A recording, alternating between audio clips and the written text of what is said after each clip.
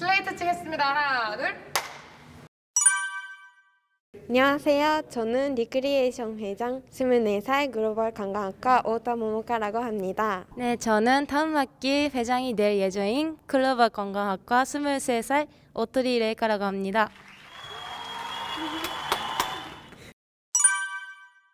네, 리크리에이션은 1997년에 만들어졌다고 합니다. 처음에는 한국 사람이 만들어졌던 동아리였는데 지금은 계속 일본 유학생들로 선택된 댄스 동아리가 되었습니다. 매 학기마다 일본 유학생을 대상으로 모집을 하고 있습니다. 춤을 좋아하는 사람들이 모아 재밌게 활동할 수 있으면 좋겠다고 생각하고 있는데요. 하지만 공개적으로 모집은 따로 안 하고 있어서 친구를 통해서 참여하거나 그 학기의 회장에 직접 연락을 주시면 참여할 수 있습니다. 매주 세 번 정도 연습하고 있습니다. 완성도를 높이기 위해 축제나 큰 공연의 일주일 전에는 매일 연습해서 열심히 준비하고 있습니다. 그 외에도 너무 열심히 하, 연습하는 친구들이 많아서 연습이 끝난 후에도 각자 연습을 하고 있는 것 같습니다. 그 축제나 동아리 청기 공연, 일본 유학생에서 하는 신입생 환영회나 졸업식 공연이 주요 활동입니다.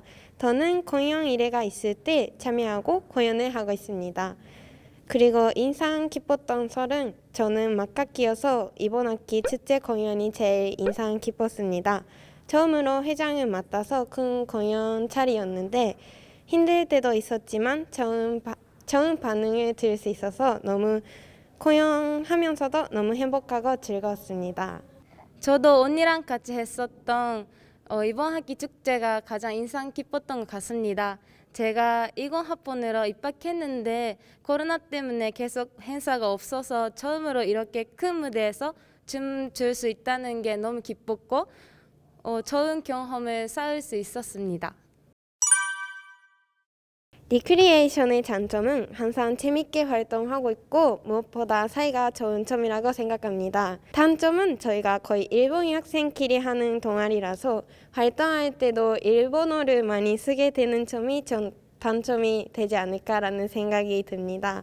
그리고 일본 학생에게는 인지도가 어느 정도 있는데 학교에서의 인지도는 많이 없는 편이라고 생각합니다. 앞으로도 춤을 좋아하는 마음을 잊지 말고 항상 재미있게 활동해줬으면 좋겠어요. 힘들 때도 있었을 텐데 어, 잘 따라와줘서 너무 고마워요. 아직 부족한 점도 많겠지만 앞으로도 잘 부탁해요. 슬레이트 치겠습니다. 하나, 둘. 수고하셨습니다. 리크노 민나 세노 사랑해요.